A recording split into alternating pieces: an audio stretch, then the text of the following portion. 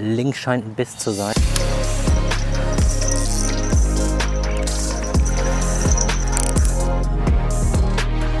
Leute, es war ein untermaßiger Rappen und hier oben höre ich den Freilauf.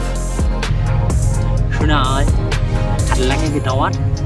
So, moin ihr Lieben, herzlich willkommen zu dieser neuen Folge. Schön, dass ihr eingeschaltet habt. Wir haben Mitte Mai, es ist wirklich schwül, es ist ja, sommerlich und es geht auf Aal. Wir haben wieder ein bisschen was vorbereitet für euch, also bleibt dran und wir sehen uns wie immer nach dem Intro.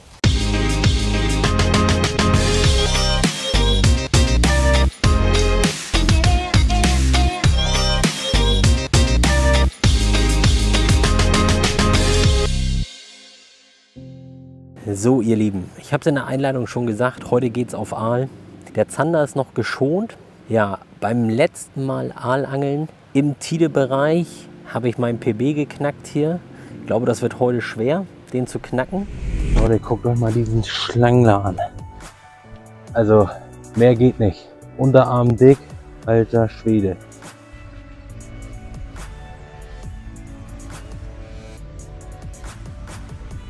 Wir sind nicht so die großen Ansitzangler, muss man auch fairerweise sagen.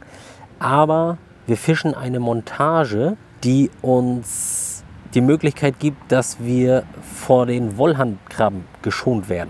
Also im letzten Video beim Aalangeln ging es um den Tide-Bereich der Elbe. Da sind wir heute auch wieder.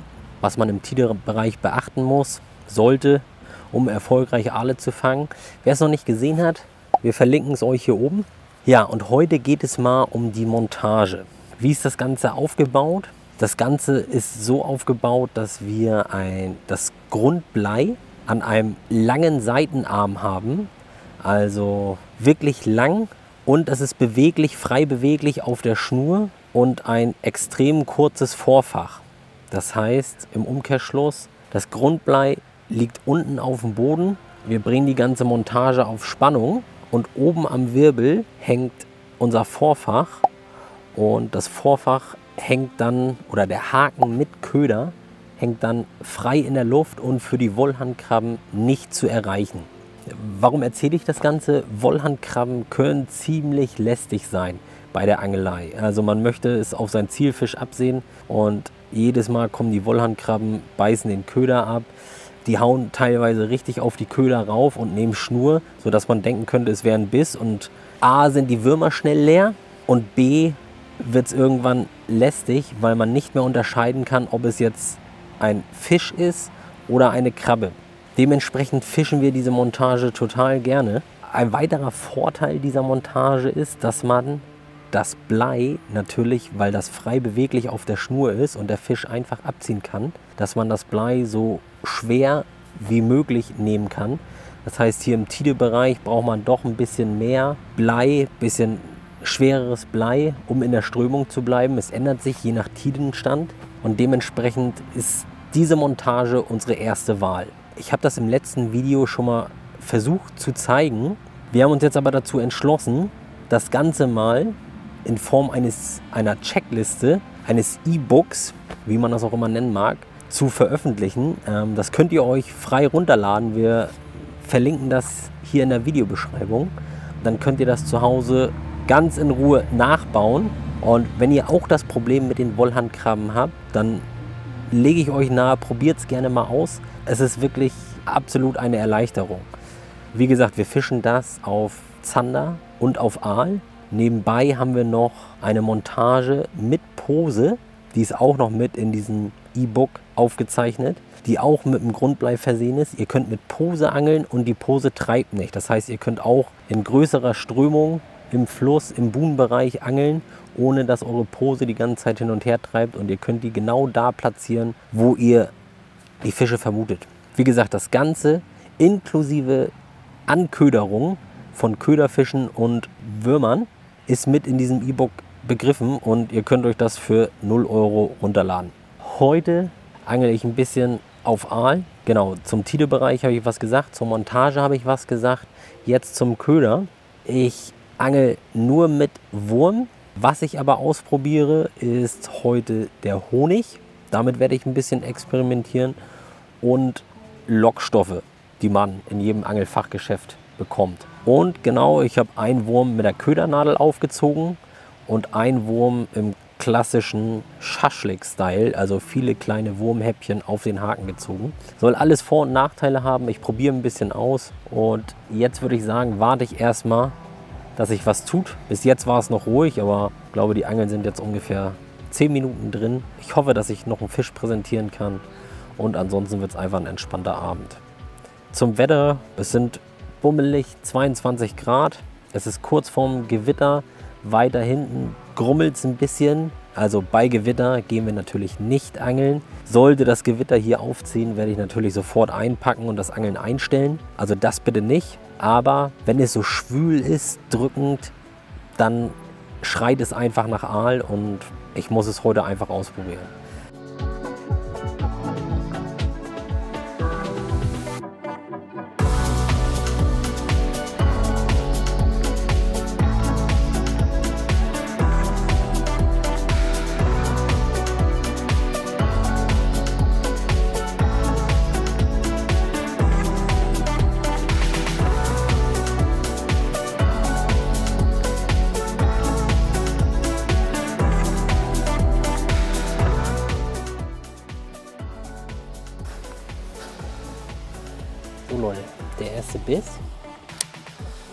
Ich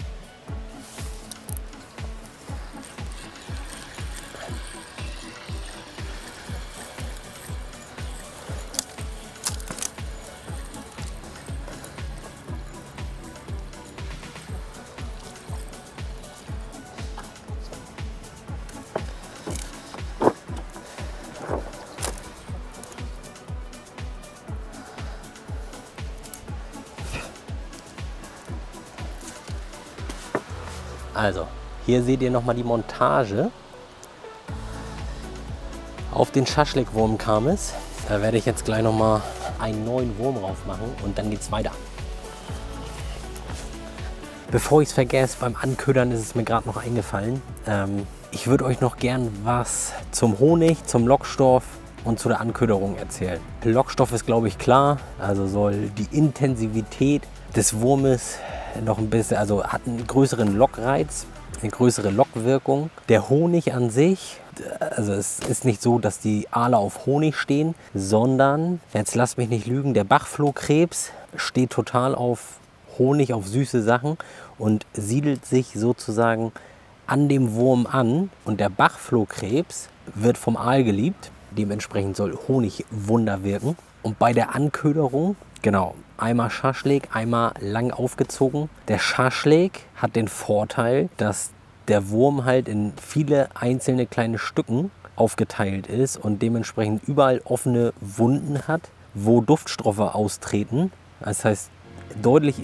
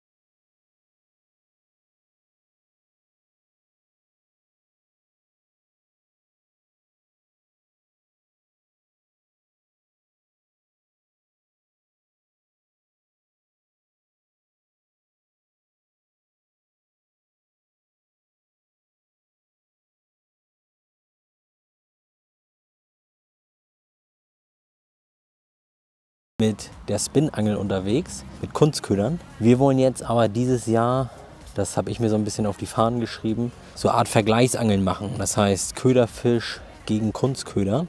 Das heißt, wir werden in naher Zukunft, in den kommenden Videos, wenn wir uns ein paar Köderfische gefangen haben, immer mal wieder neben der Spinroute auch eine Angel mit Köderfisch auslegen und dann gucken, was besser geht, mit welchen Montagen, einfach um euch weiterhin informative Videos zu geben und nicht nur die eine Seite des Spinfischen zu beleuchten, sondern auch die der Naturköder. Und dann haben wir noch was vor, da freue ich mich auch drauf. Wir haben den Elbe-Lübeck-Kanal. Da ist Zander- und Aalbestand ist da mäßig, sage ich mal. Früher war das alles ein bisschen besser, das sagen die älteren Angler unter uns immer. Früher war alles besser, aber die Erfolge lassen zu wünschen übrig. Aber man kann da durchaus Fische fangen. Wir wollen dem Ganzen nochmal eine Chance geben und ich werde da ein kleines Projekt starten, nämlich Aal und Zander. Hechte sind da auch ganz, ganz minimal vertreten. Also die Raubfische werde ich anfüttern. Das heißt, ich werde mir ein paar Köderfische auf Vorrat machen, auf Vorrat fangen, die irgendwie zu einer Futterbombe machen. Wie zeige ich euch auch in dem Video. Und ja, dann werde ich mir einen Futterplatz anlegen. Und ihr schreibt bitte mal in die Kommentare, ob ihr der Meinung seid, das funktioniert oder es funktioniert nicht. Und wenn ja, wenn ihr anfüttern würdet, wie lange würdet ihr das machen? Man kennt das vom Karpfenangeln. Für mich ist es neu, aber das ist für mich so der letzte Funken Hoffnung aus dem Elbe-Lübeck-Kanal nochmal 100% rauszuholen. Also das Optimale, was man so da an Fisch noch finden kann. Und ja, wenn ich die durch meine Futterbomben nicht angelockt bekomme, dann überlegen wir weiter, dann schreiben wir das Gewässer trotzdem nicht ab, aber wir gucken dann mal weiter, wie wir da weiter vorgehen. Ja, ob wir da noch gezielt auf Aal und Zander angeln. Da habt ihr noch was, worauf ihr euch freuen könnt. Ich werde weiter Aal angeln erstmal. So Leute, ich suche keine Ausreden. Ich habe einen Anruf bekommen. Ich müsste mal nach Hause kommen. Familie geht vor, Angeln wird abgebrochen. Es ist bei den Brassen geblieben. So, meine Lieben, wie versprochen, beim letzten Mal Aalangeln musste ich abbrechen. Heute bin ich wieder am gleichen Spot. Es ist mega warm, ich glaube, man sieht's. Ich bin jetzt schon drei Stunden knapp hier. Die ersten zweieinhalb Stunden hat sich überhaupt nichts getan. Ich war ein bisschen enttäuscht. Ich habe gedacht, okay, das wird der nächste Schneidertag. Die Tide steht jetzt aber ganz gut. Ich habe jetzt tatsächlich schon einen Aal gefangen.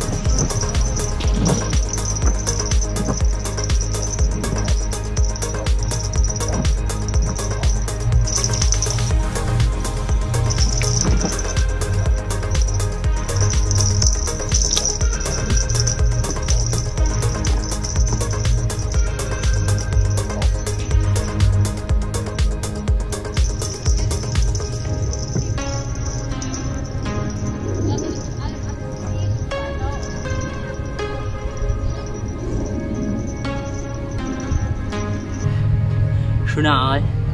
Hat lange gedauert. So, hier seht ihr ihn nochmal. Ja. Gute 50 hat er. So, ich versorge ihn schnell. Wie gesagt, zweieinhalb Stunden war hier komplett gar nichts. Ich habe nicht einmal den Wurm gewechseln müssen. Der war immer dran. Kontrolliert habe ich. Ein Aal habe ich jetzt und jetzt geht es tatsächlich Schlag auf Schlag. Also jetzt kommt ein bisschen Frequenz rein. Deswegen werde ich jetzt fix wieder die Angeln, ich habe die Angeln sogar rausgenommen, um diese Aufnahme hier zu machen.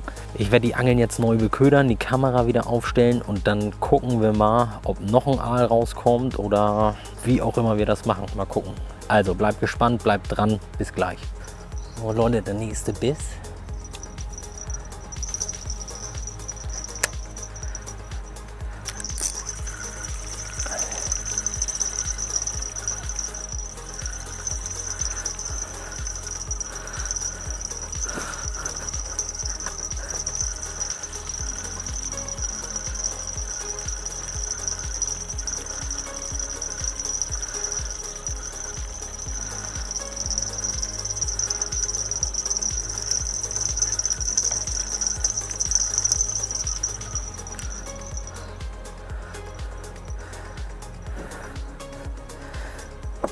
Diesmal hängt nichts, aber Wurm ist noch okay. Feuer ich gleich wieder raus. Ja, ich wollte gerade sagen, ausgeworfen gleich der nächste Biss. Allerdings ändert sich gerade die Strömung, der Wasserstand. Also wenn es gleichmäßig abzieht im Freilauf, dann ist es die Strömung. Aber links scheint ein Biss zu sein.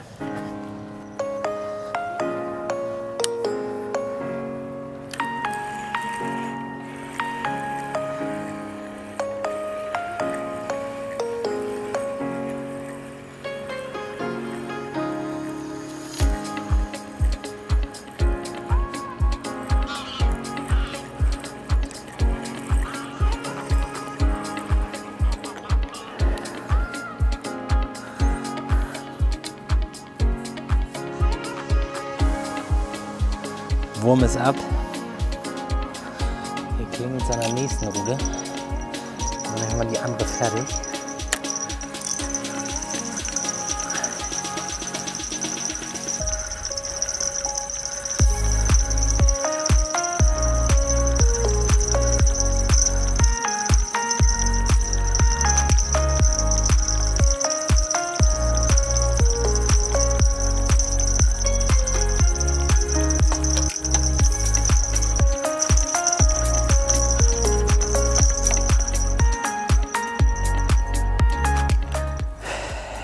Okay, auf jeden Fall zieht es gerade hier rein. Ich bin in so einem kleinen Seitenarm wieder. Ich weiß nicht, ob ich das im ersten Teil gesagt habe. Es liegt jetzt ein bisschen an der Strömung. Ähm, deswegen habe ich ein bisschen Action an den Routen, aber es geht auch langsam los.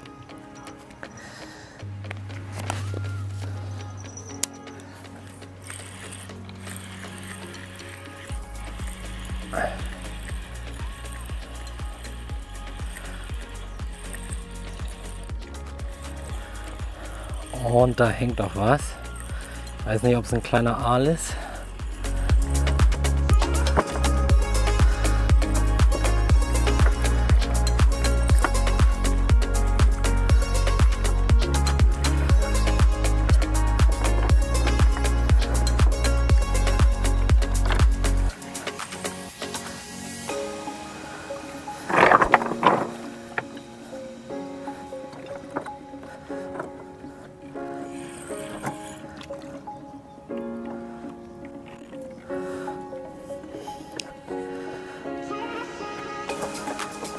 Leute, es war ein untermaßiger Rapfen und hier oben höre ich den Freilauf.